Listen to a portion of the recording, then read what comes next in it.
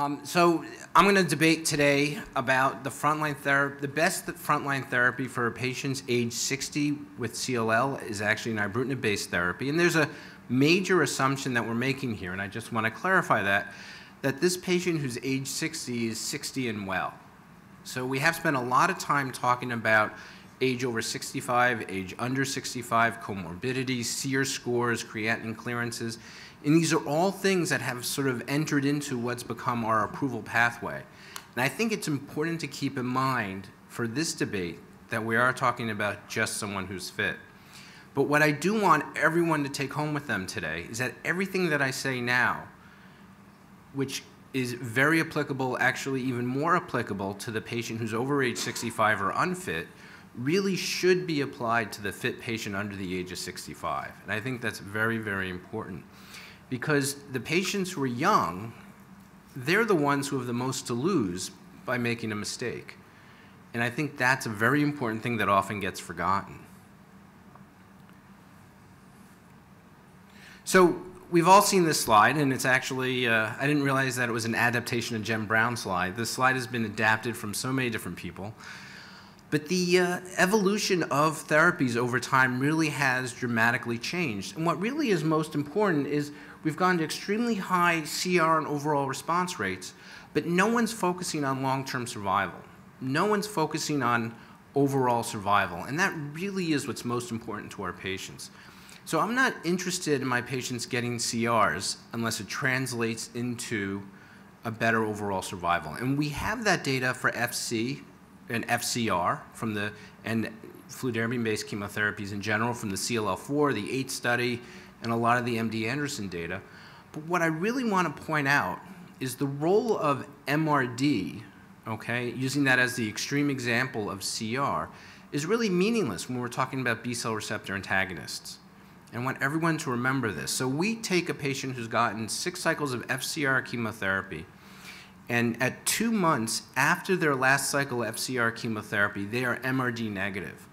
Now we know, unless they're mutated and one of those 30%, not 40%, I like how you added 10% there at the end, but if they're one of those 30% who are going to have long-term cure, if they're not one of those 30%, they're going to relapse. So somewhere in them is more CLL.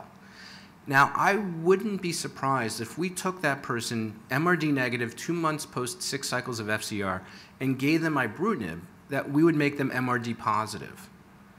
Remember, ibrutinib and all B cell receptor antagonists give the cells a predilection to circulate. And so the question is, though, is that a bad thing? We took our MRD negative patient and made them positive. And I don't think that's a bad thing, but I think that we have to revise what we're looking at.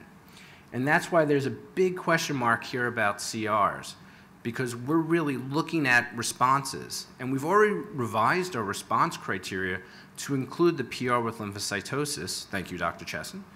And we will now need to really keep a close eye on what's going to happen with the CRs.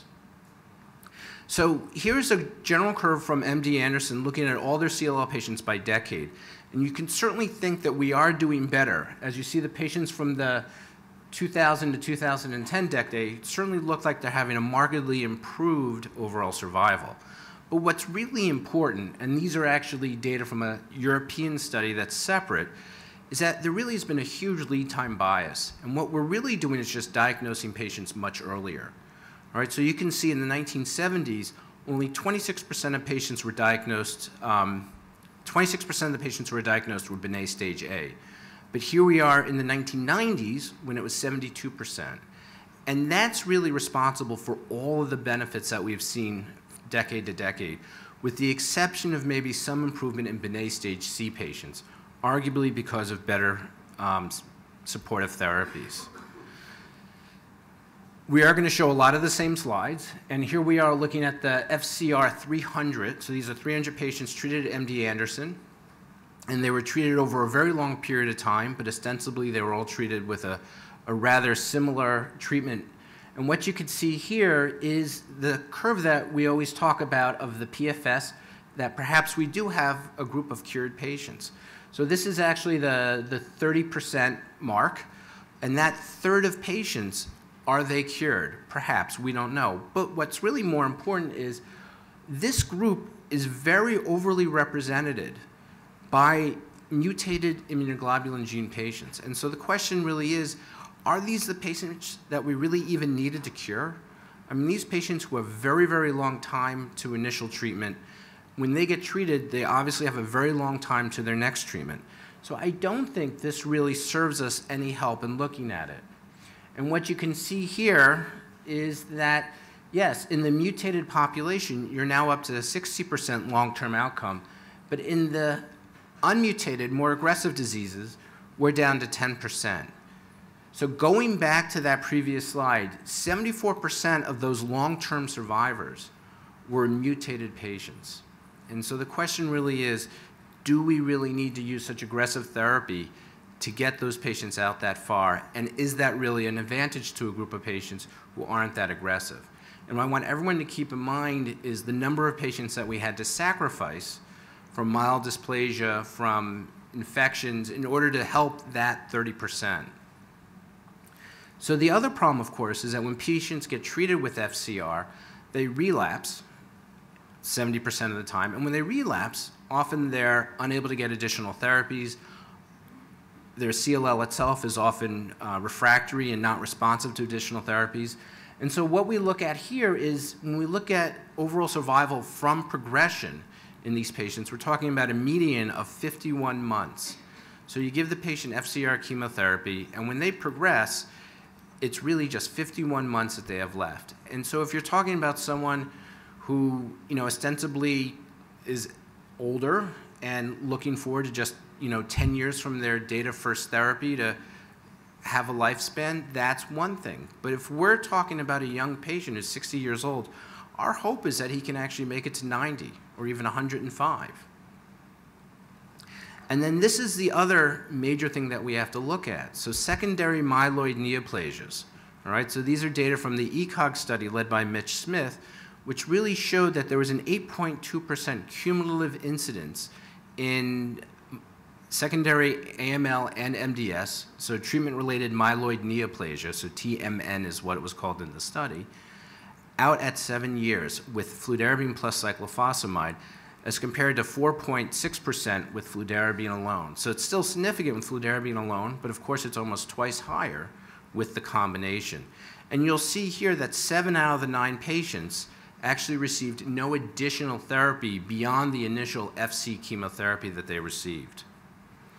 And then, of course, here's data from MD Anderson itself, where they actually have an 8% risk of AML or MDS after receiving FCR chemotherapy. And that's 8% compared to only 1% in patients who received non-genotoxic therapies. And yes, of course, this is not a randomized controlled study, and the patients might have gotten non-genotoxic therapy because they were infirm and didn't have the longevity of the other patients. But this certainly is a very significant difference. What I also like to point out is that there's a difference in Richter's transformations as well. We do need to sort of sort out whether or not Richter's is a time-based or if it's a chromosomal based or if it's going to be a um, prior treatment related, um, you know, if it's going to be re related to prior treatment, time of disease, or uh, just other factors that are the nature of the biology of the CLL itself. So these are all very important reasons to avoid chemotherapy, and included in this is just the overall statement from Mike Keating that 40% of deaths of CLL patients are associated with second solid tumors acute leukemias, MDS, or Richter's transformations. And this includes 71% of those deaths being in patients in first remission. So let's talk about B-cell receptor antagonists, more specifically ibrutinib.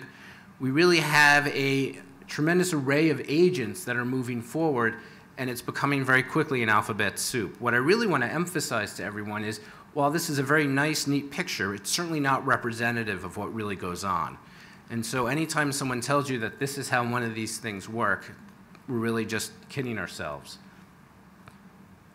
So looking at the phase two trial with ibrutinib, and this was a very early phase two trial that was done looking at patients who are relapse refractory or treatment naive over the age of 65. And these data, what's important to keep in mind, are constantly evolving. So an entity of PR with lymphocytosis was created for those patients who are having a response, whose lymph nodes have been reduced by more than 50%, but yet they still have a lymphocytosis and would otherwise qualify as having progressive disease. So we actually call them some, we traditionally call them progressive. In the old days, we might have called them actually as PD. More acutely, we, or more recently, we're calling them a stable disease, and now we're calling them PR with lymphocytosis. So when you look, there's a huge number of patients who evolve from PR with lymphocytosis to PR.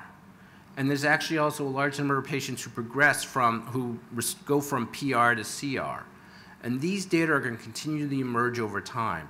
So you really can't look at the CR rates. And I think that's very pertinent, especially when dealing with someone who's talking about MRDs and CRs as the endpoints, because for what we're dealing with today with these agents, that's not helpful. But overall, looking at PR with lymphocytosis, PRs, and CRs, you can see here we're talking about an 84% response rate in treatment naive and 88% in relapse refractory. And when we look out at 30 months, um, progression-free survival, you can see these numbers are very, very high. And what I'd like to point out, you can see here 96% and 69%. Um, and I'm going to address some of the reasons why there's a difference between these two groups in a moment.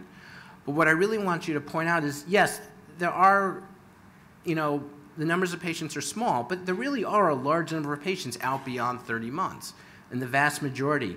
And what I would like to point out that this one person at month eight was a Richter's transformation, arguably someone who should never have been on the study. But we've all looked at these patients who are masses of lymphadenopathy. You treat them with something, the lymphadenopathy goes away, and all of a sudden you see that Richter's lymph node growing. So, you know, I certainly am not going to blame that on the drug. So with this one exception, we're really talking about a straight line. And we're talking about a straight line that's at a median PFS of 30 months. So we're not even talking about something that's beginning to fall down to the median. Now, looking at the outcome here for patients in general, we have basically one patient who came off for disease progression in the treatment naive arm and 10 patients in the relapse refractory arm. Seven of these patients are for Richter's. So we know that ibrutinib works very effectively at controlling CLL. We even have some data now that if patients have CLL and respond and progress with CLL, that there are some very specific genetic mutations that might be responsible for those changes. But we do know that ibrutinib doesn't control the Richters. And so the vast majority of these people that are representing the, the ticks down on the curve are really Richter's transformations. And what I want to show you here is looking at a group, we started off with 246 total patients treated with ibrutinib, found 150 patients who were treated more than 12 months, 20 of whom had disease progression, 13 were Richters. We actually looked at the remaining seven, and we found five of them with these single base pair mutations. All right, and so the two that we saw was one was a, cysteine to serine change at um, amino acid residue 41 in BTK. And then the other one was here in PLC gamma that led up to a upregulation of uh, PLC gamma and bypassed the inhibition of BTK. This change here actually just impaired the ability of ibrutinib to bind to BTK itself. And when you look, these mutations develop predominantly in those patients who have complex karyotype 17p deleted or 11q deleted um, abnormalities. So the people who arguably have genomic instability. And the most common cause of genomic instability is going to be chemotherapy. So ostensibly, if we take these drugs and if we give patients ibrutinib first and never expose them to the FCR chemotherapy, we would hopefully be able to generate a population, a population of patients who won't have the genomic instability and who will actually continue on um, ibrutinib indefinitely. Thank you.